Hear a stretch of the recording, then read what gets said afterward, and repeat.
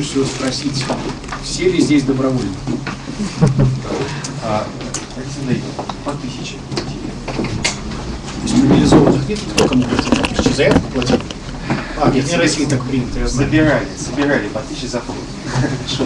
Здравствуйте, здравствуйте. Я благодарен, то, что вы пришли. А Мы, когда только вчера решили, что встречу нужно обязательно провести, и решили проводить ее обязательно в неформальном месте, в баре. А, Выбор пал именно на бар мистера Кокошки, потому что это одно из немногих мест в Петербурге, где есть действительно большая культурная программа, а не только развлекательного характера, но и действительно интеллектуального, творческого. Поэтому мы считали, что именно здесь, э, в этом месте, э, нам необходимо вести диалог о обществе, о религии, возможно, немного о политике.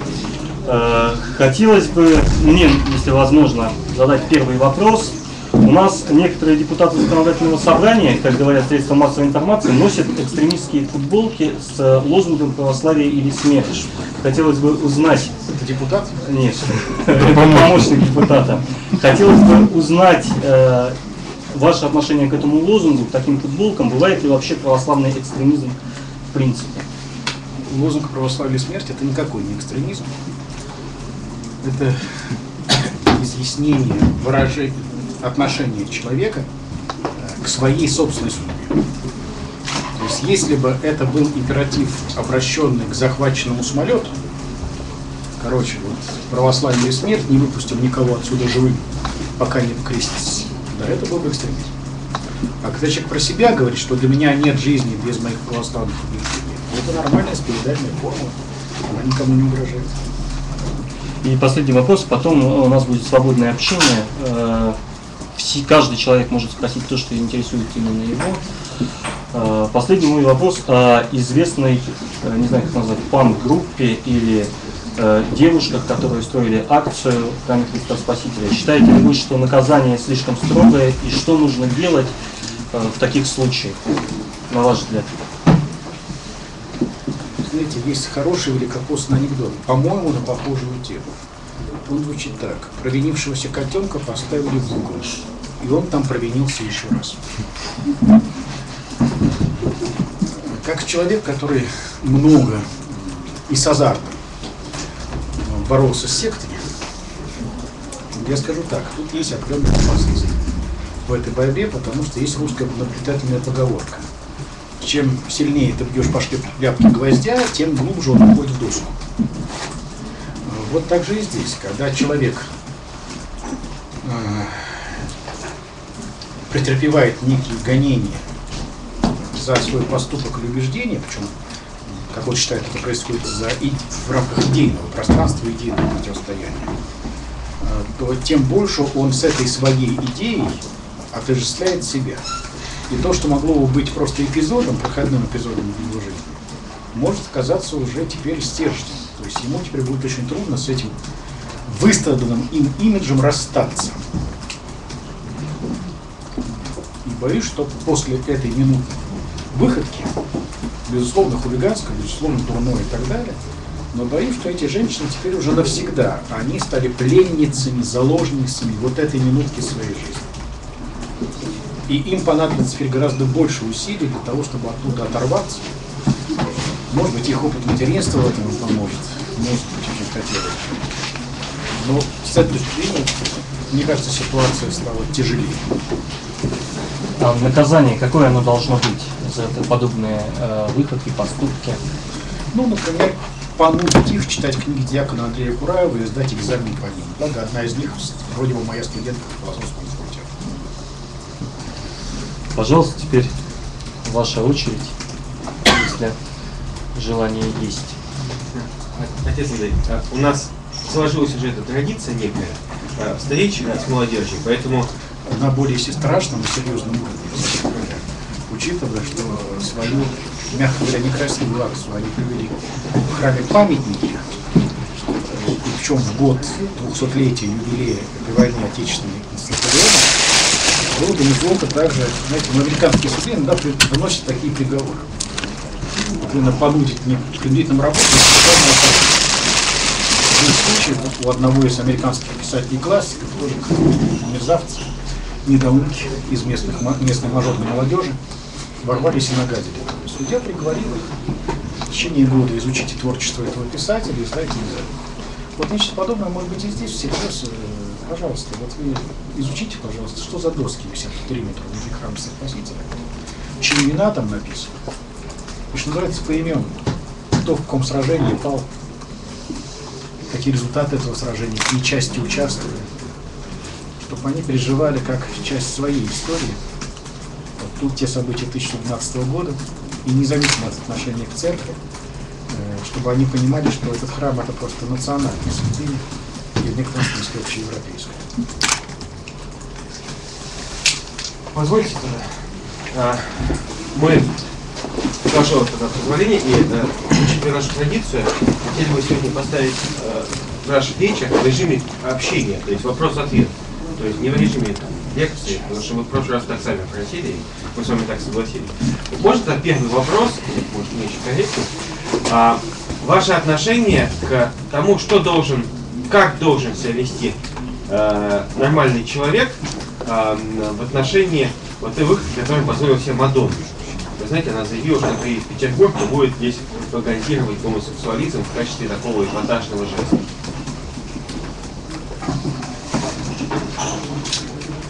Не знаю, как насчет нормальных людей, но мэрия вполне может устроить внеплановую укладку асфальта или булыжников на, на площади, где предполагается ее концерт. Концертный зал. Концертный зал. Там тоже бывают проблемы с пожарной безопасностью. Неожиданно возникающие. Нормальный человек в таких случаях звонит в ФСБ и говорит, по моим данным, какие-то боевики с Новой Гвинеи заложили бомбу в этом концертном зале. Виталий Валентинович после экстремистских футболки может совершить еще один экстремистский поступок. Сорвет концерт. Не а, Тогда, если будут вопросы из зала, вы прерываете э, с удовольствием. Поднимайте руку и бросите. Вам. Тогда у меня следующий вопрос. А, пожалуйста. Отец Андрей, испытываю редкий восторг сегодня здесь присутствия, от вашего присутствия. Э, у меня вопрос практический. По поводу причастия. Э, я по благословению своего духовника стараюсь сделать это чаще, причащаюсь в том храме, в котором я ну, все время раз в неделю, и если есть возможность, я еще один раз, отвезя дочку в школу, э, тоже стараюсь причаститься, если есть такая возможность. И э, мой духовник не благословил меня на сегодняшний день э, читать каноны. И э, были у меня случаи, когда я избегаю точно, когда меня спрашивают, готовились ли вы, я отвечаю, готовился. И не считаю, что я солгал, потому что ну, у нас есть определенные договоренности с духовником. Но э, был случай, когда меня спросили четко про каноны. Я сказал, что я их не читал.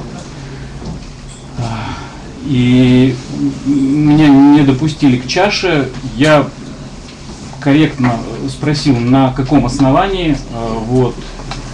И, ну, в общем, меня обвинили в хамстве, там подошли и уже даже планировали выводить меня силой из храма. А я не хамил, я четко следил за своим тоном и спрашивал, ну, на каком основании вы э, не допускаете меня к чаше. Потому что, насколько я знаю из ваших лекций, то есть такого вот какого-то вот правила, закона, канона о чтении, канонов нет. Как вы порекомендуете вести себя в подобной ситуации? И, ну, вообще, что с этим? Я, естественно, никак не могу комментировать советы, которые дают своему духовному чаду. Что же касается в целом этой ситуации,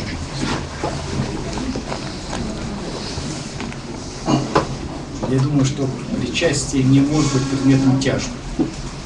У меня есть право, я требую, дайте мне двойную дозу. Мне кажется, это невозможная вещь. Поэтому в таком случае уж лучше отойти и сказать, Господи, твоему помыслу людей, почему я сегодня остался без причастия. В таких случаях лучше остаться голодным, но не будущим. Духовно Да. Еще вопрос? Тогда у меня опять вопрос на тему больше общественная. Э, Читая новости, волей-неволей находишь слова патриарха о том, что сейчас идет некая травля русской православной церкви. Считаете ли вы, что это действительно так? И как э, подобное э, подобную позицию СМИ, не всегда приятную для церкви, нужно отвечать на Патриарх очень высокая колокольня. Возможно, с нее он видит где-то там за холмами, за горами какие-то сконцентрированные стратегические резервы наших методов, тех, кого он таковыми считает. И, может быть, у него есть какая-то информация, которой он не делится э, с нами из прессы. Поэтому, может быть, он так говорит. да. То, что вижу я в прессе, в интернете, не дает мне оснований говорить о том, что вот события последних двух месяцев есть результат какого-то медийного или какого-то политического заговора. Я просто прилагаю бритву Оккама, не умножая сущности без необходимости, и говорю, что каждый из эпизодов для дискуссии, которые возникают сегодня, для, в том числе негативных откликов в наш адрес, у каждого из этих эпизодов есть какая-то своя достаточно понятная мотивация, предыстория и так далее. И поэтому полагать, что здесь есть какой-то замысел, ну я, я из того, что вижу я, да, конечно, у меня более ограниченный кругозор, чем у патриарха. Я как бы в этой гипотезе не нуждаюсь. То есть она для меня в данном случае эвристической мощью не обладает. При том объеме информации, которая есть у меня. Ну, когда, скажем, я слышу, что говорят, что, знаете, да, три, в трех храмах произошли скандальные сцены, в двух храмах погромы были в Великом Устюге и в Невинномысске. Да, очень похожие вещи, очень печальные. И, конечно, если брать только вот этот эпизод, вот, скажем, может быть, есть некое видео, информационное сообщение. Да, некий человек ворвался в храм и там начал сшибать иконы, убить и так далее. Это очень похоже. И кажется, действительно, может, действительно некий сценарий. Только дальше возникает некоторый вопрос. А чуть расширим поле нашего зрения. Что мы видим? В обоих случаях это были психически больные люди. Один состоял на учете в психбольнице, другой уже, несмотря на юный возраст, 24 года, уже три раза отсидел. Когда его э, приехала милиция, его повезли, он орал «Я Бог, я Бог, мой храм» и так далее. Я здесь главный и прочее. Я, я не знаю, может быть, есть такие технологии заговорщицкие, которые позволяют координировать действия психически больных людей. Но, на мой взгляд, идея заговора несовместима с идеей психически больного и неадекватного. Таких разведку, наверное, не берут. И заговоры в масонах. Но опять, я, я, я плохо знаю этот мир, может быть, у людей выше меня, у них больше. Отец Андрей, кое рядом с вами вот сидит автор почему-то скандального закона о защите наших детей от пропаганды половых извращений. Э, Вот не кажется ли вам, что э, то, что происходит сейчас, особенно э, такие акции, я считаю, как было э, на концерте группы «Рамштайн» открытые имитации гомосексуального полового акта на сцене, э, заявление Мадонны, да, певицы, значит, э, то же самое, э, вот эти женщины, которые плясали в храме Христа Спасителя, они назвали свою акцию, между прочим, од- од- одной из форм мести за этот закон, да, и назвали это гей-парадом. Вот не считаете, что это все как бы, ведь э, к мусульманам претензий нет у глобалистов, а вот ну, про- против православной церкви это проявляется в очень открытой форме, и раз гей-парад дошел до храма, вы не считаете это такое проявлением а, именно войны, объявлением войны христианской православной именно церкви? Ну, что касается отношения глобалистов к мусульманам, я думаю, если вы спросите мусульманских аналитиков, они вам расскажут свой перечень обид, Ну, претензий и так далее. Что касается православной церкви, ну, не надо считать себя пупом земли. Такого рода выходки всегда направлены против господствующей конфессии в данной стране. Автором этих выходок нет дела до того, цените вы Иоанн Златоуст или нет.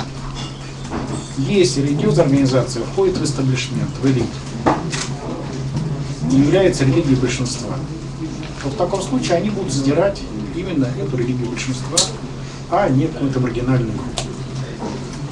И в этом смысле догматические различия между православием или католичеством, или лютеранством, англиканством для организаторов таких выходок не имеют значения.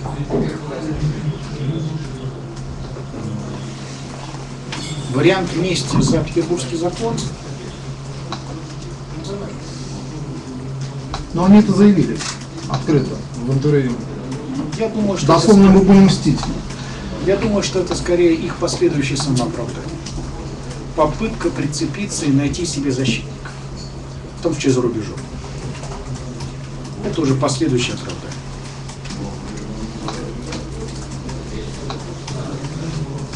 Тогда еще один вопрос будет. Раз мы находимся вместе в молодежном баре, клубе, хотелось бы узнать, э, считаете ли вы, что э, молодые люди сегодня имеют э, какие-то другие нравственные и моральные устои, чем молодежь 10 лет назад, 20 лет назад или 30 лет назад? И как православная церковь должна влиять на самые нормы морали? К сожалению, определенный дрейф есть. И для меня это очень странно. Вот в частности, отношение к гомосексуализму. То есть удалось, во многом удалось в сознании довольно массовой молодежной прослойки сдвинуть отношение к этой мерзости с негативного на чуть ли не восхищенное.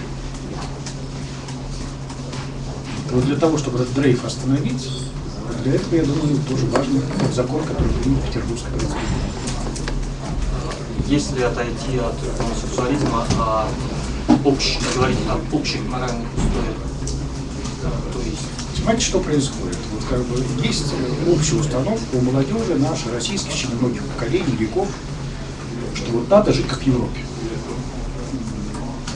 И когда молодой человек видит, что если ты хочешь иметь друзей в Европе, получать оттуда гранты, ездить на какие-то встречи, ровесников и так далее, э, то для этого ты должен научиться говорить правильные формы. И есть достаточно всем известный список тем, по которым надо отметиться и доказать, что да, мы с вами одной крови, я современный человек, я думаю, как и вы. Вот. И вот есть там 5-6 тем, по которым надо прокукарекать и доказать свою политическую лояльность, политкультурность. И вот в число этих 5-6 обязательных тезисов для получения шенгенской визы вот входит еще и такое толерантно-восторженное отношение к гомосексуализму. И вот не потому, что само это по себе это занятие молодым людям нравится, но им хочется быть принятым в хорошие дома. И считается, что право пропуска в хороший дом дает именно такого рода тезис. Вот поэтому, наверное, пора менять пропускную систему. А если, опять же, попрошу отойти от, кроме гомосексуализма, отношения к гомосексуализму, э, что э, не так э, с современными молодыми людьми, что было иначе э, 10-20 лет назад, 30? Возможно, другое отношение к российским святыням, нашим отечественным, возможно, другое отношение к старшему поколению, э, другое отношение к алкоголю и, собственно, досугу. Понятия не имею. Это уже нужно проводить какие-то социологические опросы. Сравнивать с тем, что было 20 лет назад, а были такие тогда опросы эти и так далее. А без этого это будет совершенно. Данил Шишкин, главный редактор газеты «Вольтер». А, Отец Андрей, скажите, пожалуйста, нашел э, в СМИ материал, где вы осуждаете организаторов акции 4 февраля в Москве на Поклонной горе. Почему вы считаете, что патриотично настроенные граждане оскверняют Поклонную гору такими акциями? А я раз такое сказал? Ну, собственно, в СМИ есть такое. Ну, или а, проверка. Знаете, я, я человек, который работает со словом, поэтому я очень четко выражаюсь. Я назвал четыре имени. Конкретно. Кургинян, Дугин, кто там еще был, какой-то ваш отморозок в Петербурге живущий, модный писатель Багиров, да, кажется, и Проханов. Вот этих четырех граждан я назвал панк-сталинистами. А не те колонны, которые туда сгоняли. административно зависимых людей. Или просто энтузиасты. Другое дело, что, как всегда, как и с этими пусями, этим обиженным товарищам тоже очень захотелось сказать, да это нас всех оскорбили, слышите, нас миллион, это про нас, про всех сказали и так далее. Да нет, про вас четырех, что было сказать. Людей, которые пришли туда, чтобы именно делиться своей ненавистью. Ладно. То есть, если бы они просто клялись в любви к Путину, святое дело, пожалуйста.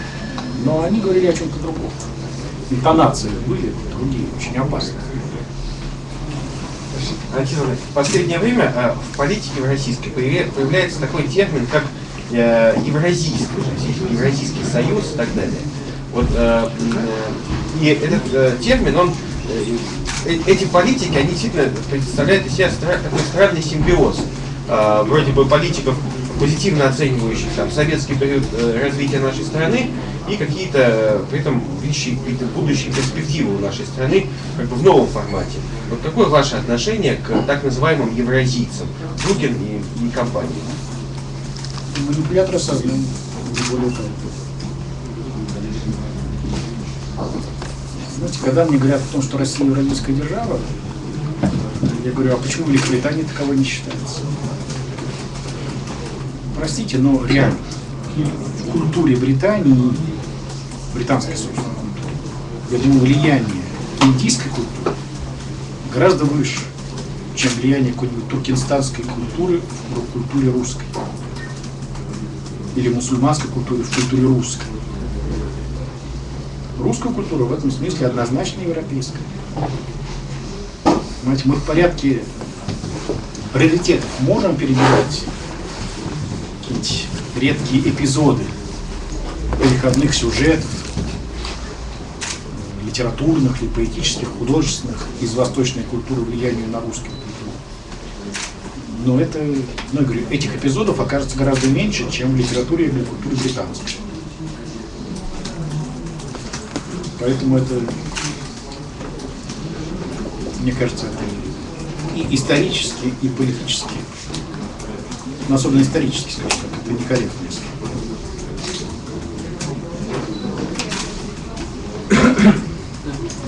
Отец Андрей, не считаете ли вы, э, что сама православная церковь сейчас зашла в тупик э, в отношении преподавания курсов православной культуры в школах? Потому что, то есть, и реакция, например, в Петербурге, то, что народ выбрал больше светскую этику, это ре- является результатом того, что сама церковь не, не определилась либо с программой, либо с то, как это преподносить людям. Что касается программы. Это есть, и вот здесь где-то должна быть моя сумка с учебником. Нет, нет. Нет? То есть желающие по окончании нашей встречи могут посмотреть учебник или даже купить его. Учебник издан, он есть, э, но почему-то его не пускают в свободную продажу.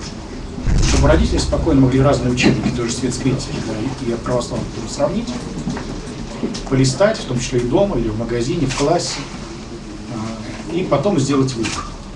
По-хорошему, вот в школе проходит собрание, и на каждой партии должна лежать штопка из шести учебников по всем направлениям. И по ходу собрания, чтобы хотя бы по ходу собрания полистали и. Потом этот комплект Этого не Повезли в происходит. соседнюю школу, там завтра такое же собрание и так далее. Вот это, тогда это был бы выбор народа. А пока это не выбор, а диктат Министерства образования. И федерального, и регионального. А церковь может как э, в этом процессе Потому что участвовать? сплошь в Москве в этом году ни одной школе, ни одному родителю не разрешили избрать основу православной культуры. Понимаете? Москва. Тысячи школ. Ни одному человеку не разрешили его пока выбрать. Именно не разрешили.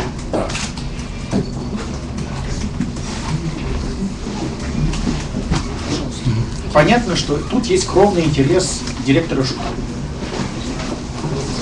Потому что ему не, не, не хочется платить за лишние часы. Если в одном классе появится 2-3 группы, это значит умножается количество учебных часов. Значит, нужно из фонда заработной платы искать возможность оплаты этих дополнительных с его точки зрения часов, не обязательно. Для зауча это проблема состояния расписания, с поиском кабинетов, опять же, состояние расписания для детей и для педагогов. Это головная боль, не хочется. Плюс к этому педагогам не хочется погружаться в новый для них материал. Замысел-то проекта в чем был? Чтобы каждая семья могла сделать в школе заказ на воспитание моего ребенка. А у нас, получается, сфера услуг, она работает для себя, не для клиента. А мы не хотим. А ну и что, что вам хочется пальто такого покроя? А у нас лекала только такие заготовки. Мы 50 лет уже по ним шли. И поэтому извольте носить то, что есть. Понимаете, вот все происходит по старому советскому анекдоту. В каше шоколаднице приходит молодая влюбленная пара, садятся за столик, романтически смотря друг на друга, подходит официант, что будем сегодня пить, чай или кофе. Вы знаете, пожалуй, кофе. А вот и угадали чай. Вот это и происходит с так называемым выбором этих. А потом услужливая пресса начинает потрясать этими цифрами. Вы видите, страна проголосовала против ОПК. Да сплошь и рядом на этих собраниях даже не дают родителям информации о том, что у вас есть такая возможность выбора. А просто ставят в известность. Организовательское собрание приглашает родителей на вчерашнее число. Или, скажем, собирают 5-6 верных родителей, с которых, с которых хороший контакт с классным руководителем, они подписывают под светскую критику. А тем, кто могли бы, скажем, священник заранее знают, да, что он будет против, ему звонят на следующий день. Я такие случаи знаю в Московской области. Говорят, вы знаете, а класс уже проголосовал, поэтому присоединяйтесь. Не согласны, забирайте ребенка в соседнюю школу. Как можно изменить ситуацию? Как вы считаете? Вот депутат сидит рядом, может быть, попросить. Аннулировать, может быть, может аннулировать результаты этих Хорошему должна была быть принята, должна стать инструкция о том, что такого рода родительские собрания э, должны проводиться открыто. И, может быть, даже с обязательным присутствием представителей традиционных религий. Это было бы замечательно. хотя бы мусульман, христиан, и чтобы в их присутствии эти собрания проходили. Батюшка может не выступать и даже не должен выступать, но хотя бы, чтобы он понимал, что э, у педагога адекватный рассказ и рассказ о каждом из модулей велся корректно, в равной степени информированности. И родителям не врали, а им врут. Врут, например, знаете, у нас педагоги подготовлены только по светской этике. Простите, это ложь, потому что, во-первых, они по светской этике не, не подготовлены. Во-вторых, Министерство образования должно одновременно одного и того же человека натаскивать на все шесть модулей эту установку. Или врут, у нас учебники закуплены только по светской этике, опять ложь. Закупка учебника должна совершаться по итогам родительского собрания, а не до них. И вместе издательство посещения должно напечатать столько учебников, сколько будет заказано по итогам голосования. И вот такого уровня лжи ее очень много. И самое главное это то, что якобы школа выбирает. Школа ничего не должна выбирать. Ко мне иногда подходят на разных конференциях педагоги и говорят, отец Андрей, радостно говорит, хочу вас поздравить, наша школа выбрала ваш учебник. Я говорю, это ужас. Школа ничего не должна выбирать. Выбирать должны только родители. И если я вижу, что какая-то школа, тем более целый регион, выбрал какой-то один модуль, это знак мухлежа. Неважно вкус тот. Светской этики, ОПК или чего, или мусульманской культуры. Это нет у нас настолько консолидированных в этом отношении коллективов родительских лиц. Вы готовы участвовать в процессе, если нас пригласим, э, собрав э, педагогов, в том числе в Петербурге? С радостью. Отец Андрей, э, я благодарен вам за лекцию о карьере. И вот э, только что вы сказали о том, что подвинулось какое-то вот сознание относительно, например, гомосексуализма. И, возможно, вот я так свяжу, что а, насколько могут быть православные звезды, ну, в понимании звезд как Мадонна. Потому что ведь есть для молодежи особенно понятие круто, здорово, интересно. А у нас, как православие, так борода, ангела за трапезой, сапоги. Ну, не хочется быть похожими на этих людей. Возможно ли, чтобы человек был и звездой, возможно, я сейчас об Охлобыстине, возможно, и о Кинчеве, возможно, о каких-то людях, которые, ну как, ведь не может быть православная кухня, это же не котлеты крестиками, да, это же, ну, вкусная еда. Может, а ведь сейчас, как сказать, у нас нету православных песен. Я обрыдался от всех песен Копыловой, искренне, я плакал, но а, она можно ли это сделать без слова ангел, Христос, без эм, я за, я сейчас не об этом, я о том, что это гетто, это гетто, и молодежь выбирает Мадонну, но молодежь не выбирает песни о любви, песни о надежде, песни о преданности. И насколько вот это... Вроде вы начали разговор с о борьбе. Да.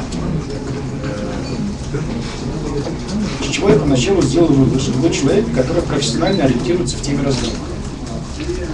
А сейчас вы несете пробу. Возможно, я, я волнуюсь, возможно, я Нет, не дело не в четко... волнении. А дело в том, что, понимаете, вот как предыдущая тема была там, Петербург выбрал то и все, и это пруга, Петербург не выбирал. Точно так же и здесь. Молодежь не выбирала Мадонну. Мадонну выбрали хозяева радио, станции. Причем тут молодежь? Молодежь не создает форматы и, в общем-то, их не выбирает. А им навязываются. Как, как в вопросе моды, любой моды. Понимаете, там, ну, например, вот посмотрите на мое лицо. Мгм. Понимаете, я несколько лет не могу найти запасных очков. Вот кто решил, что вот круглые очки, классика, простите, Леноновская, да, невозможно купить. Все должны змеиные очки носить. Длинные, узкоглазые. Вот мальчик сидит, вот девочка, совершенно одинаковые очки у них, да? Вот кто за них это решил? Я по Италии езжу, не могу найти. По Германии хожу, не могу найти, понимаете? На днях, в Швеции видели такие очки. Где-то там в глухомане, в какой-то деревушке шведской, нашли недораспроданные остатки. То же самое касается чего угодно. Штанов, какая-нибудь педрастические модели джинсов, которые до пупка не дотянешь и так далее. Вот, и так далее. Чего угодно. Удивительный диктат. И при этом этот диктат цинично прикрывается рекламным слоганом. Только твой выбор. Это только твой выбор, что китайские фабрики миллионными тиражами штампуют. Но это только твой выбор. Когда я читаю, понимаете ли, в прессе и в новостях меня впаривают модные тренды сезона и за полгода загодя заявляют, в новом году, в летнем сезоне будут модно такие цвета, я спрошу, блин, как вы это узнали? До лета еще 4 месяца, они узнали, что будет модно. Три пидора в Париже собрались и решили, что будет модно за все человечество.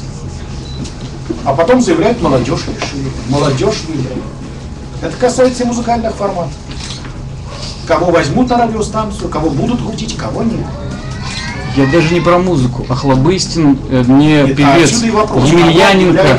Емельяненко не певец. Но вот, пожалуй, два человека, на которых я в какой-то степени хотел бы быть похожим. Почему их так мало? Почему их два? Это вопрос, ну, не ко мне. Возможно ли совмещение? тому, Может быть, и не- с трудом, потому, что ну, вопрос, кто контролирует. Кто контролирует Вот Емельяненко? наберите в интернете, пожалуйста, по Гуглу, да, если вас там не забанили а, наберите на, на текст «Кто убил классическую музыку?». А, Я в свое время пожмотился и не купил толстую книгу с таким названием, это американский автор, где просто рассказывается, как произошло это. Как это вдруг оказалось, что классика оказалась не в формате, а какие-то тупые повизгивания, аритмические даже сплошь и рядом, дерганные. Как вот это вот стало считаться музыкой. И это конкретные имена. да? Как это происходило. Поэтому, на самом деле, вот тут есть повод говорить о, о- теории заговора. И поэтому вопрос, ну, почему там нормальные люди туда не попадают, ну, потому что ненормально. То есть в звезды Может быть, попасть тогда и не стоит тогда в эту тусовку лезть. невозможно нормальным людям в звезды. Ну, в понимании, я имею популярной личности. Но- Ну вы его спросите. А я не знаю, я не хочу в ту тусовку лезть, поэтому мне даже не интересно шакали законы, которые там, какой стороной надо продюсеру выставляться и так далее. Это вопрос скорее о том, существует ли или может ли существовать понятие православный рок. Нет, что, просто не может существовать. Православные бои без правил. Не православ- Дело не в этом. А дело в том, пойдет ли это, какова будет аудитория. То есть подвальчик собрать друзей. Православные панки. Может быть и так, наверное. Вот. Но одно дело собрать друзей и для них что-то такое сказать, спеть, сделать. А другое дело попасть в рейтинг. Вот. Потому что если ты на уровне звезды, то речь о попадании в рейтинг. Ну, ведь в ваших многих лекциях есть это, когда красивая девушка, как только приходит в храм, первым делом делает себя некрасивой. Э, Молодой человек, решающий стать православным, стесняется купить себе дорогой телефон и одеть хорошую одежду. Вот. Вновь, А. вновь говорю, даже самая замечательная, православная, красивая девушка, даже самая модно одетая, с прекрасным голосом и так далее. Но у нее, боюсь, что нет шансов попасть в телеформат. Давайте э, следующую тему. Я Хотя бы по той причине, что она, например, будет вести себя целомудренно с режиссерами, заказчиками, спонсорами и так далее. такая небольшая э, реплика, ремарка. Не так давно Виталий Валентинович скидывал Industrial Gothic Metal, православный Industrial Gothic Metal. Виталию Валентиновичу не понравилось послушать. Слушали? Да, да. Отец Андрей, раб Божий Иван, Гаценко Ян Фердинандович, слушатель епархиальных богословских курсов, юрист по профессии. Скажите, пожалуйста, вот к разговору о э, садомии и навязывании, потому что навязывается нам сейчас в стране, вот э, понятие гендера, если кто-то знает и слышал, понятие вот этих вот э, сексуальных, садомских и законодательных новшеств, которые сейчас обсуждаются, привносятся. Многие, может быть, не знали и не слышали. В к- проекте концепция социального развития Санкт-Петербурга на 10 лет введены эти понятия садомские неприемлемые для православных. Как вы считаете, как православный христианин должен себя вести при э, подобного рода новшествах, при внесении, в том числе и на уровне законодательства?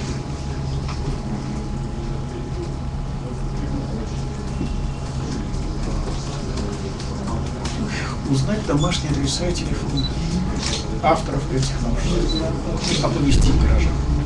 Спасибо, Вот кто готовит вам светлое будущее. Пишите. Имя, имя им легион. Вы не легионы, 20 человек. В том-то и дело, что меньшинство дик- под- называет- диктует свою волю большинству, и почему-то именно это называют демократией. Вот мне рассказывает один депутат, не знаю, как перебралась этот человек или нет, прошлой Госдумы. Депутат один России, там, и так далее. Очень активно этот человек э, участвовал в разработке семейной политики и законодательства, поддержку семьи, деторождения и так далее. И вот этот депутат рассказывает, что в Думе на стадии выработки законопроекта все проходит хорошо. Потом входит в Белый дом. Э, Есть комиссия, э, правительственно-думская, парламентская комиссия, смешанная, которая окончательно должна э, отшлифовать законопроекты, прежде чем официально их вынести на голосование. Э, Кажется, там Жук, вице-премьер, в те годы возглавлял эту комиссию, и она, ну, кажется, там по вторникам заседала. Не знаю, каждую неделю или раз в месяц вот, заседала в Белом доме. И вот что интересно, наши законы поддержку семьи, детишек никогда не проходили через эту комиссию. Не потому, что тот был против, а потому что там был маленький, незаметный чиновничек в аппарате правительства, вот в этой комиссии. Вот он был с с секретарем, клерком каким-то там десятым. Вот его работка была очень тихо, он публичный человек, составление там просто повестки дня. И вот он эту повестку дня составлял так, что наши законопроекты всегда оказывались последними. И до них никогда не доходило. А маленький клерк, ну просто он тихо, он гомосексуалист. Поэтому это не в его интересах. Отец Андрей, как раз вот э, обсуждали вопрос э, молодежи и так далее. Вот хотелось бы спросить, а насколько возможно вот э, активный протест прихожан, допустим, такой, как православных хоругвиновцев? Или же протест может быть только такой спокойный, с состоянием, с молитвенным, который, естественно, нигде никто не покажет, потому что журналисты любят экшен? Ну, то есть как вот вы считаете, возможно активный или все-таки это должно быть так спокойно и не поддаваться?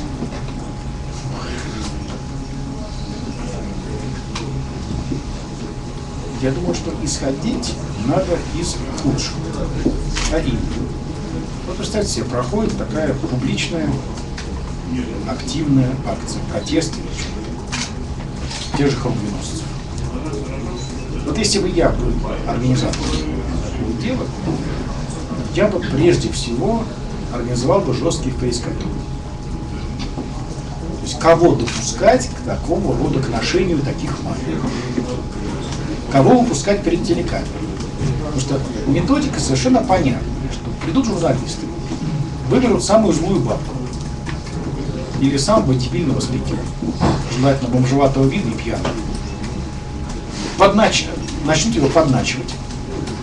И когда дело дойдет до матюков и же домасонов, включат запись, и потом покажут это в эфире и скажут, вот они православные.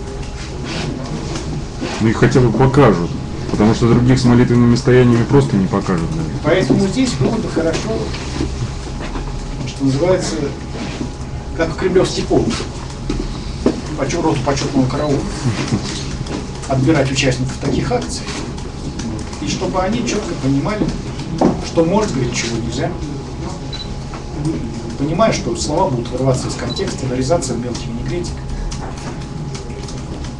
если они смогут так это делать, то есть любое дело надо делать профессионально. Потому что против нас работают профессионалы. Андрей, во-первых, хочется вас поприветствовать от имени молодежной организации «Молодая гвардия». А я думал, это телеканал «Пятница». Вот. И задать такой вопрос. На знаком.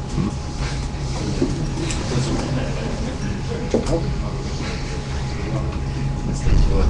А, Сложилось, к сожалению, такое мнение в обществе, особенно молодежи, то, что когда человек славянской э, внешности одевает на себя футболку и что я русский, он националист. Когда же это делает э, э, человек э, не славянской внешности, допустим, Азербайджан или что-нибудь так, такое, он патриот, он молодец. Почему так, так сложилось, так получилось? Знаете, вот я хожу по впечатление, по дороге сюда, в самолете, я прочитал сегодняшний выпуск российской газеты. И опубликована очередная горячая сотня печатных материалов, запрещенных судами Российской Федерации за экстремизм. Я очень советую поинтересоваться этим списком. То есть, честно говоря, волосы шевелятся, когда читаешь какой-то сельский, сельский суд Мухосранска, вот он вдруг решает, что там экстремистская листовка с императора Александра III. Или второй. Можно достать посмотреть. Почему так произошло? произошло? По Ленинским великорусский шовинизм самый опасный человека. Его идеи бессмертны, вы помните. Советская частушка говорила, дедушка умер, а дело живет, лучше было наоборот. Отец Андрей, скажите, пожалуйста, было ли у вас когда-нибудь ощущение того, что ваш ум и эрудиция мешают вашей вере? По размеру вроде все.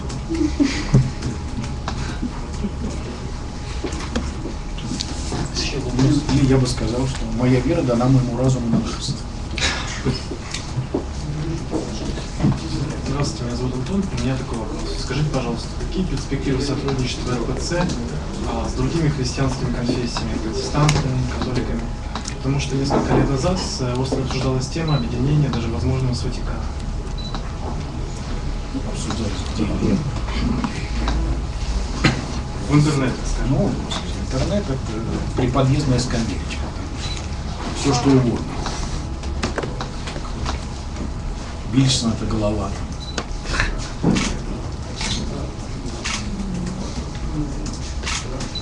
что касается диалога с протестантами, но тут есть официальное заявление нашего синода еще, лет пять, наверное, шесть прошло.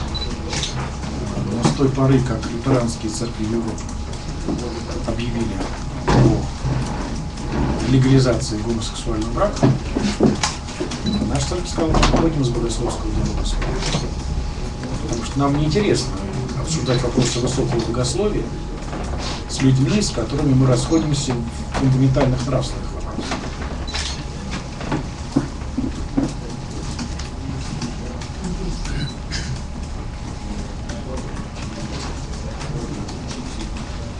Отец Андрей, скажите, пожалуйста, а, вы довольны ли вы лично а, то, что сейчас президентом стал опять Владимир Владимирович Путин, и как это может, э, уже зная этого человека, отразиться, благоприятно ли это отразится на православной церкви? Не предвидится ли гонений на церковь в ближайшие 4 года, по вашему мнению? Нет, гонений, конечно, не будет. Я не вижу смысла в их целях. Понимаете, тот же Путин достаточно прагматичный человек. Чего ему делить с нашей церковью? Грубо говоря, что у нас есть такого, чего бы он раньше нам не дал? Снова отбирать что? Храм? Нет, либеральное давление, я имею в виду, если, опять же, будет легализация если его, допустим, заставят э, более лояльным быть к тому же гомосексуализму, значит, церковь либо она не может принять православную церковь эту доктрину смерти, значит, э, церковь либо уходит в подполье, либо на церковь начинает сходить. Я думаю, что вот судьба того же петербургского закона, она многое пояснит. Но, конечно, есть определенная странность то, что один из первых таких знаковых политических шагов уже новой конфигурации тандема после выборов, это впервые в истории в России создается база НАТО. И на фоне той, простите, антинатовской истерики буквально, которая из уст того же тандема издавалась выборами такой резкий контраст между словами и делами не может быть. Меня, меня действительно удивляет, почему, что называется, профессиональные русские патриоты в зимние дни так мгновенно простили все, что у них накопилось за предыдущие 12 лет. И те же самые ресурсы, люди, которые там постоянно говорили, хуй из мистер Путин, на кого работаете. Все, и Фурсенку забыли, и кого угодно, и Сердюкова простили, все замечательно.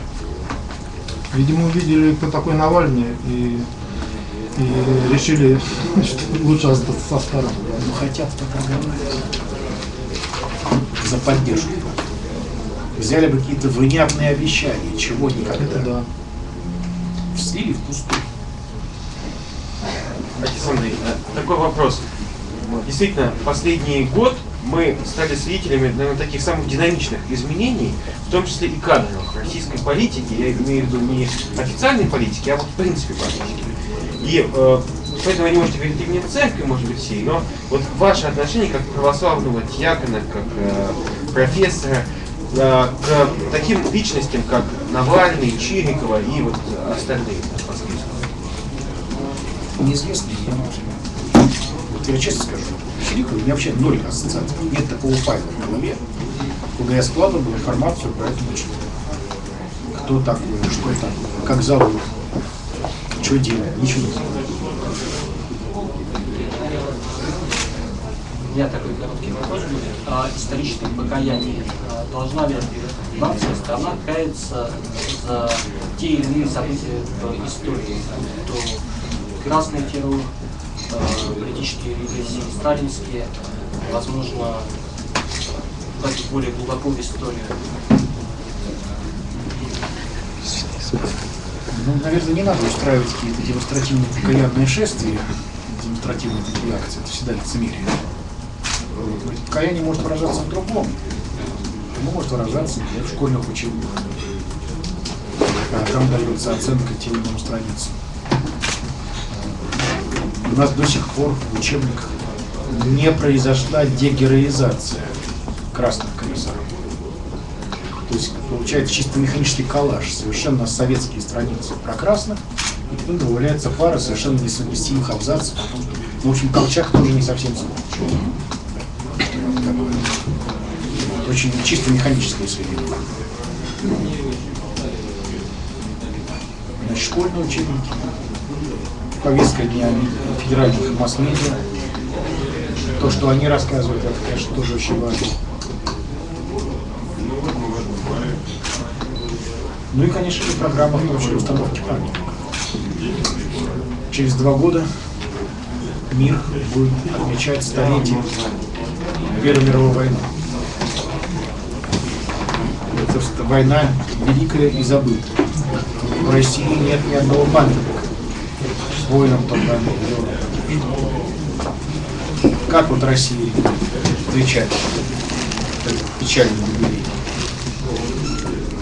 И затем следующие четыре года переживать его каждый из годов. Вот это очень важно для национальной исторической памяти.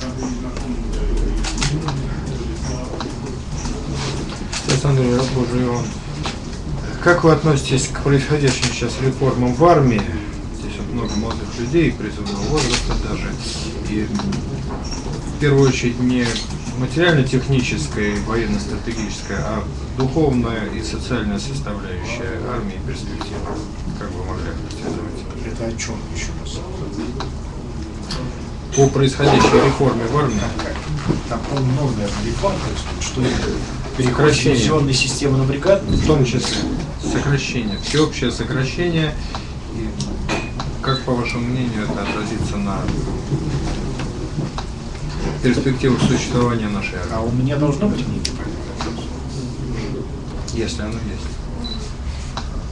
Знаете, ну, я профессионал в одном, и поэтому я хорошо знаю, что значит быть профессионалом. Поэтому зачем нужны советы дилетантов? Я пересказывал газету, которую прочел позавчера. Меня интересовала именно духовная сторона вопроса, если вы над ней задумывались. Духовную сторону вопроса я вижу только появится или нет, когда появится командир, военный капеллан наши. Ну, там активно десантирование церквей говорилось, вот это вот обсуждалось, очень ругались на эту тему в интернете. Как вы относитесь? Нет, ну, это интернет, это понятно. Спасибо, господин. В последнее время очень много идет речь, э, идет э, разговор о так называемом общественном телевидении.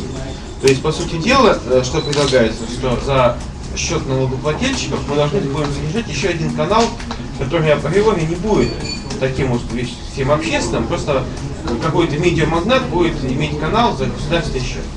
А как вам кажется, будет ли логичным, если мы просто установим некую квоту? Предположим, возьмем радиостанции. У нас в Петербурге, там, я не знаю, ну, больше 20 радиостанций в FM-диапазоне. То есть такие радиостанции, которые слушают. Я не беру там экзотические, доисторические излучения, в которых вещает радиостанция Град Петров. Вот. Я беру обычный FM-диапазон. И на этом, в этом диапазоне нет ни одной радиостанции, которая э, вещает, ну, нет ни одной православной или просто христианской радиостанции.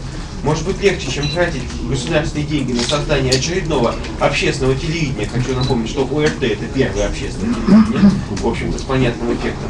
Может быть легче просто ввести квотирование, что э, на 10 радиостанций должна быть одна, которая будет работать в некоммерческом формате, и просто им дать бесплатно волну и не давать бюджетные деньги. Может это не моя тематика. Эти, когда заговорили вновь об общественном российском телевидении, я вспомнил, я достаточно старый человек, и я помню, что такой проект уже был у нас в 90-е годы. И более того, помню, что Патриарх Алексей входил в совет попечителей этого канала, что ни малейшим образом не влияло на сетку его вещания, что ему он показывал. То есть там по-прежнему паслись стадами всякие целители, Малахова и так далее. Э, Шли различные антихристианские фильмы и прочее, все документальные. Есть реально это не влияло на политику телеканала никак. Вот. Что же касается создания сети корректировок станций, ну, это опять вопрос, в том числе и к церкви. А почему мы не можем финансировать свой такой телеканал, свою радиостанцию? Знаете, от- отго- отговорки типа денег нету, я не принимаю всерьез. Потому что в конце концов у нас создаются очень мощные финансово-политические советы, когда речь заходит о возрождении каких-то монастырей по Валаамскому. Но я думаю, что проект создания такого медийного инструментария диалога церкви общества гораздо более важен, чем возрождение тех иных часовенок на Валаамских островах или Словецких. По деньгам это ну, вполне сопоставимо, даже дешевле гораздо. Когда я читаю, сколько миллионов долларов стоят новые колокола в Троице Сергей Лаврин, поставленные там несколько лет назад. Порядка 10 миллионов быть. На эти деньги можно было создать вполне приемлемую радиостанцию. Телеканал, может быть, это мало, а радиостанция вполне будет. А уж тем более, учитывая лоббистские способности потенциал нашей церкви, действительно можно говорить о том, чтобы частота была выделена нехорошая и по минимальной цене, а быть даже. У меня такой короткий вопрос, который вам По задавали. этому вопросу мой ответ таков, что надо не, не столько делить чужое, а пробовать создать свое.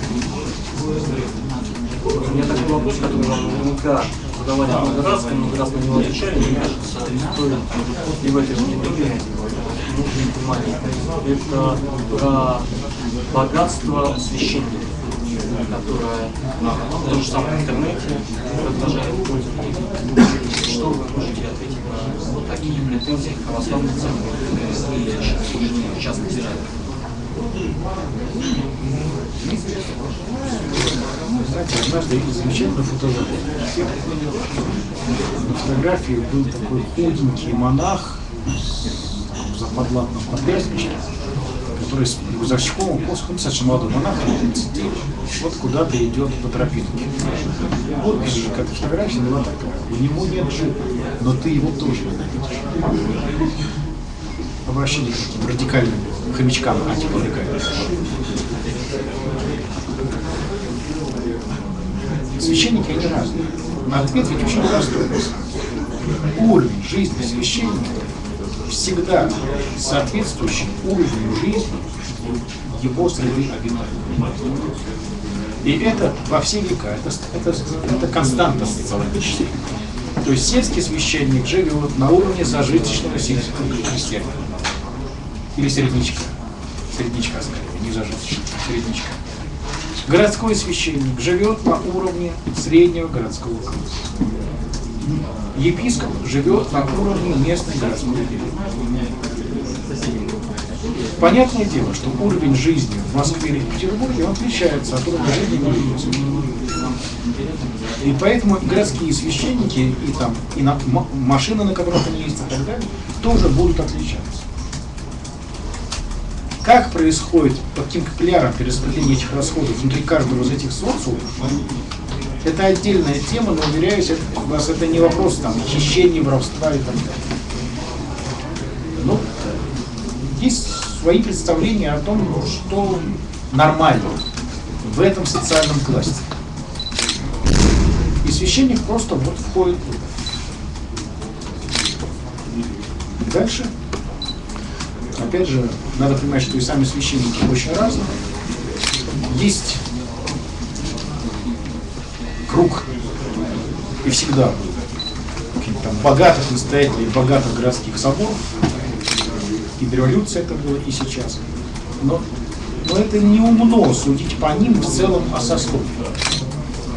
Вот другой вопрос, очень серьезный, я очень прошу ставить его почаще вопрос о перераспределении финансовых потоков внутри самой церкви. Вот как бы эти вот богатые городские приходы, действительно, более-менее состоятельные прихожане там, и так далее, здесь работают не только пенсионеры, но и работоспособные люди, которые хорошо зарабатывают и, соответственно, вносят какую-то жертву на храм. Вот как бы научить саму церковную среду делиться этими столичными сверхдоходами с, со священниками, приходами из убитых и погибающих деревушек. А впрочем, даже и в самой Москве есть то, и то, и другое. Как ни странно, например, в Москве ситуация такая, что плохое назначение для священника – это получить храм в центре города. Потому что в центре Москвы, в отличие от Петербурга, ситуация такая, что храмиков много старых, а при этом центр не обитает почти не обитает. Там офисы и туристы, гостиницы. А храмов много. Поэтому храмы на окраинах, спальные районы, они переполнены. И они действительно сверхсостоятельны. А вот храмики в центре, они отнюдь отнюдь не богаты. И в этом есть своя польза. Потому что в результате что я вижу? Начинается конкуренция. То есть, если священник хочет, чтобы люди ходили именно в его храм, а не в тот, который в соседнем переулочке, он должен чем-то привлекать людей. Буквально вот на этой неделе я был в одном таком центральном московском храме, в таком же подвале, с молодежью, с рок-концертом перед началом моей лекции в подвале. Потому что, да, вот храм слишком много вокруг других, и там поэтому настоятель ищет какие-то свои пути для того, чтобы людей привлекать. Я о комиссарах и FM радиостанции. Рок на сегодняшний день это тоже, в общем-то, ну такая не особо популярная музыка среди молодежи, то если честно. Если будет FM канал, а, кто там будет работать? Я об этом спрашиваю. Я был диджеем на нескольких радиостанциях, и если те Моя люди... головная боль, я у Вот, и те Это де- моя головная боль. Нет, я хочу спросить вас. А я не хочу отвечать. Геро- Я еще не спросил. Я уже не хочу вам отвечать. Вместо У комиссаров меня плохой кто? характер. Кто будет вместо комиссаров? Откуда я знаю? герои? Я что, школу диджеев веду? Я не про диджея. А про что? Про то, что раньше были герои. Вали котики. Ну, в школе пионеры-герои. Были примеры. На сегодняшний день таких героев и примеров нет. Но мне Высоцкий нравился, Иван Дам, например. В детстве. Сейчас, 14 лет мальчику. Кто, кроме Человека-паука, кому подражать? Э, и э, какие? Потому что все равно же мы хотим подру- подражать кому-то.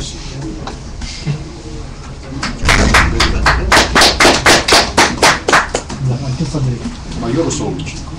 Я возвращаюсь все-таки к теме очень важный вопрос по поводу... Я был в школе как-то в восьмом классе и написал 50 вопросов э, тем, которые интересуют школьников. Один из вопросов был, почему священники ездят на дорогих машинах.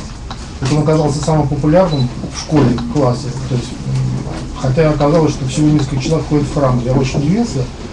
Э, Ведь э, фиксированы Понятно, что э, не фиксированные цены на требы и на свечи да, в храмах. Мы это знаем. А, кстати, я об этом узнал недавно. Да? И известно также то, что где нет фиксированных цен, где действительно просто пожар, вообще нет ценников в храме, там больше э, денег получают на приход.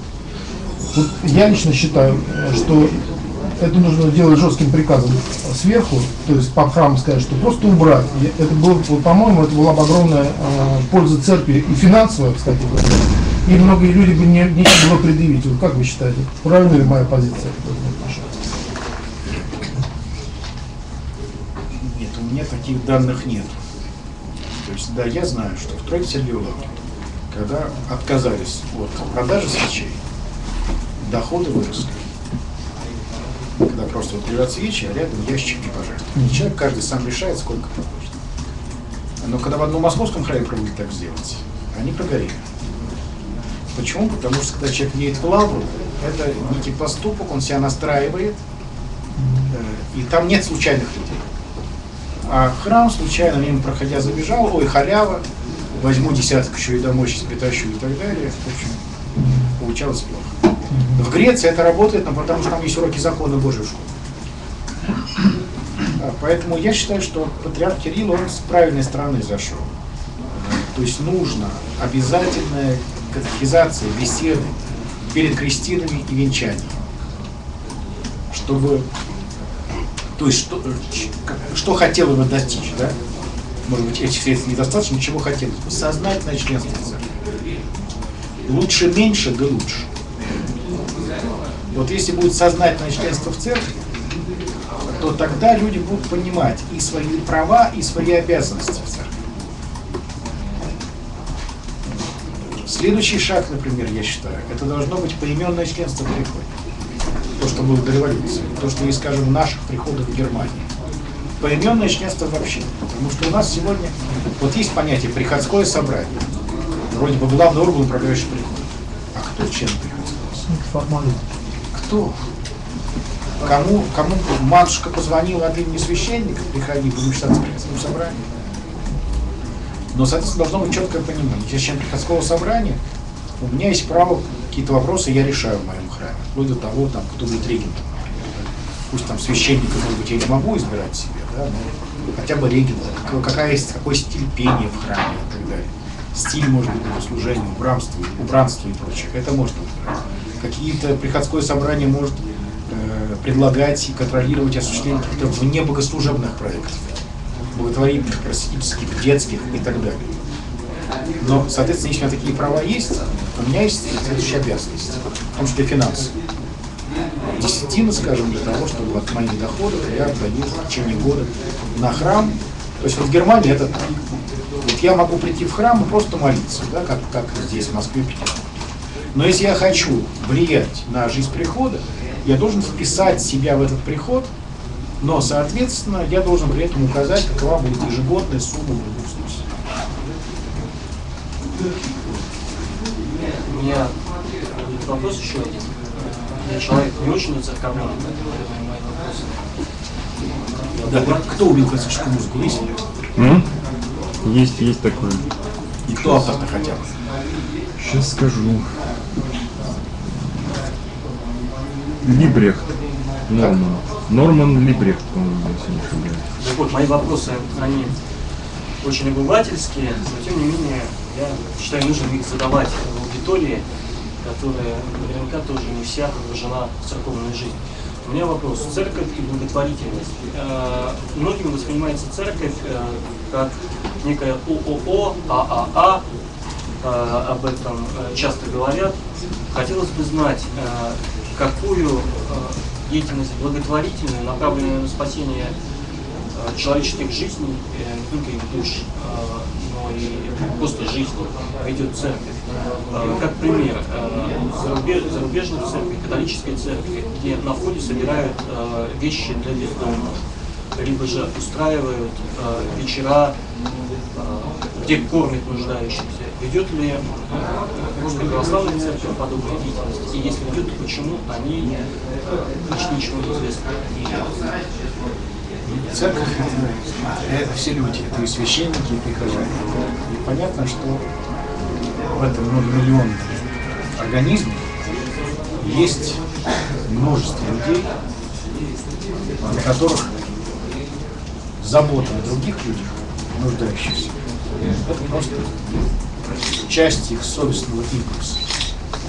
Вот я за последние годы, может быть, самое радостное, что я вижу, вдруг совершенно неожиданно, среди довольно большого числа моих знакомых, вдруг появляется вот такое вот желание участвовать в волонтерском движении, Э, ходит к больным и так далее. Я просто завистью доброй и восхищением смотрю на таких людей, число которых входит буквально просто вот мои соседи по подъезду. И я скорее все время так раньше, может быть, даже удивлялся, как типа, они посты не очень много соблюдают, и так далее, вроде бы недостаточно церковные люди. И вдруг смотрю, все чаще и чаще вот эта тема стала звучать в их жизни. Значит, во-первых, есть такое. Второе. И это касается и священников. Второе. Есть евангельские слова, Христовы слова. Когда пьет милостыми, пусть левая рука не знает, что делать право.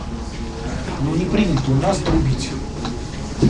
Знаете, вот если я перед вами встану и скажу, значит так, мой отчет за последние полгода. Значит, я потратил на правительство такие деньги и так далее. Это будет немножко странно. Не принято об этом. Но при этом, да, вот есть э, формы благотворительной деятельности, родившиеся на Западе, и которые с трудом пока приживаются у нас. Это вот такая организованная почти профессиональная. Вот сборы еды, там, одежды, хорошие вещи. Я знаю приходы в Москве где-то делаются. Вопрос дальше возникает, главное не столько вопрос собрать. Собрать не так трудно, потому что люди с удовольствием избавляются от старой одежды. Чем выбрасывать мусорный бак, лучше же мы, конечно, принесем. Вопрос в том, куда дальше девать. Скажем, ту же детскую одежду. Да, может быть, есть, наверное, есть какие-то семьи, которые нам нужны. Но детские дома точно не возьмут. Поддерживают детскую одежду. Значит, поэтому вопрос, есть еще и поиск от конечного потребителя. Доставки. Ну ладно, это может быть до некоторой степени оговорки, а в общем, конечно, я бы сам очень хотел бы слышать постоянно и не об акциях, как о чем-то сенсационном, а видеть простую, рутинную, тихую работу.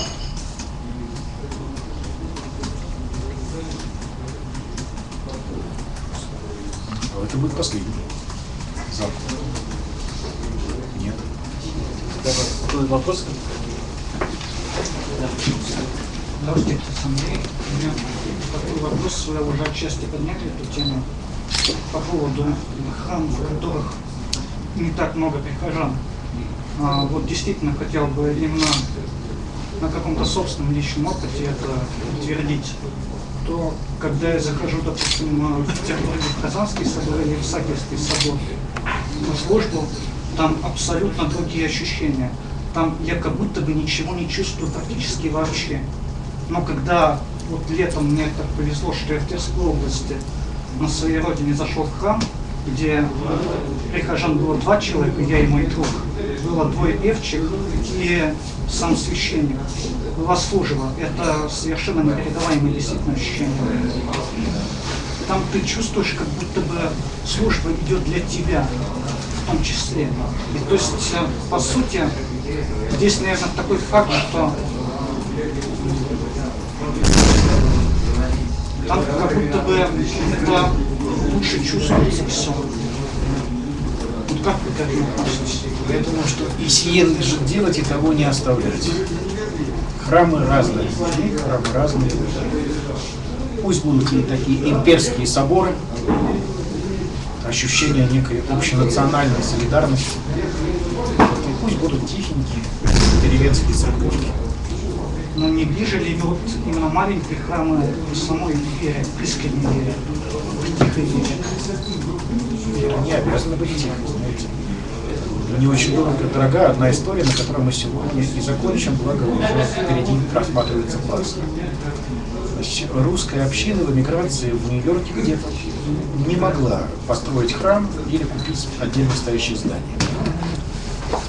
Максимум, на что они, что позволяли финансовые возможности, они арендовали квартирку в многоквартирном доме и переоборудовали самую большую комнату в этой квартире в молельную залу. И все было хорошо. Но пришла Пасха. А Пасха служба ночная и громкая. И детвора опять же бегают, кричит Христос воскресе и так далее. В общем, на утро не выспавшиеся соседи собирают подписи про письмом протеста в местный муниципалитет требованием выселить этих диких русских святых.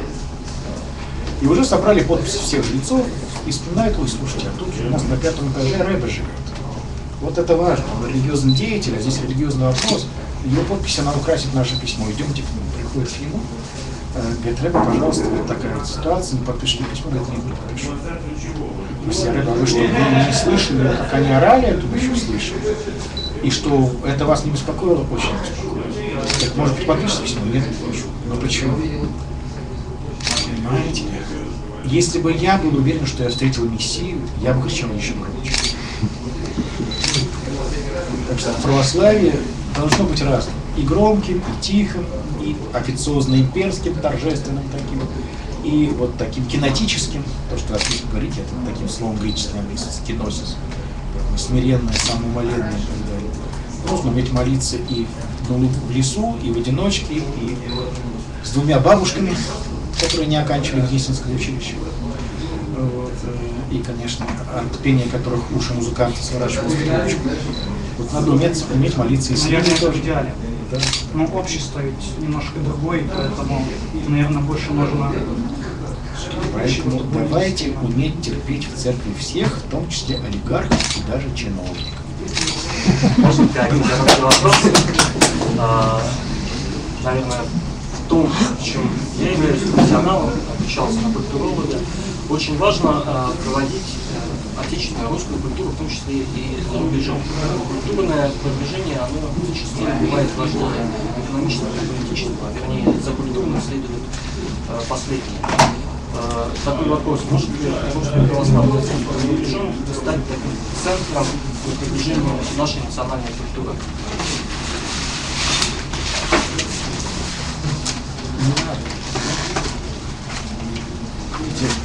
Перед церковью не надо ставить задачи, не свойственные церкви как таковой.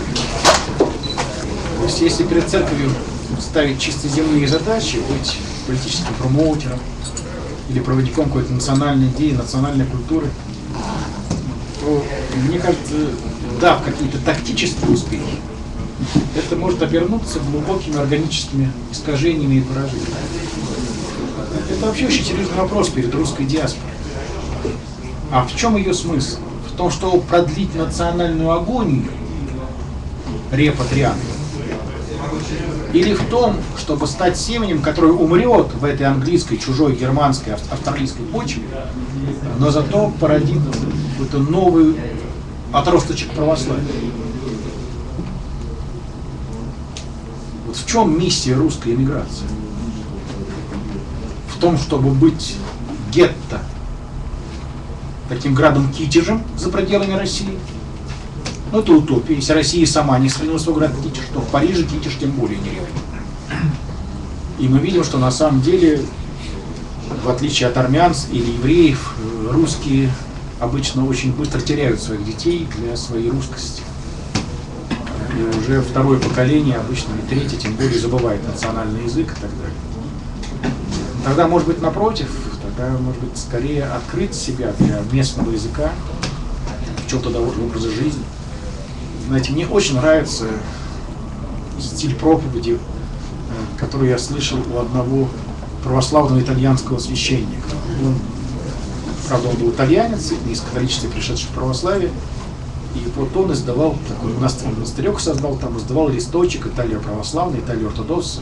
И лейтмотивом этого листочка было итальянцы. Вернемся к вере наших предков. Италия тысячу лет была православной страной. Вернемся. А у них для этого есть удивительный термин в итальянском языке.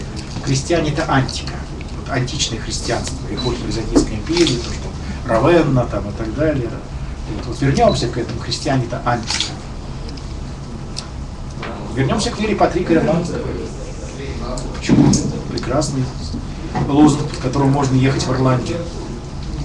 Не, не ирландское пиво на русскую лодку занять. Вернемся к временам, когда была общая вера и общая молитва. Так, ладно. Спасибо, этом закончим.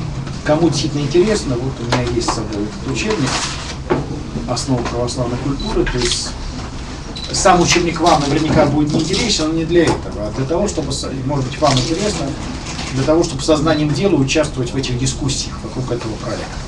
да. А кроме того, может быть, среди вас есть родители будущих четвероклассников или знакомые.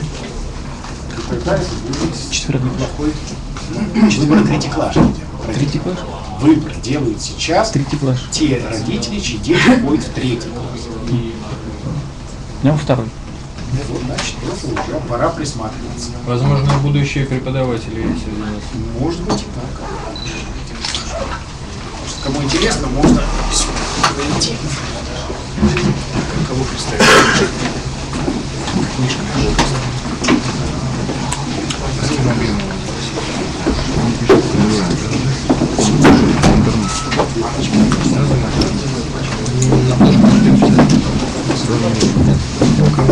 Спасибо большое за то, что...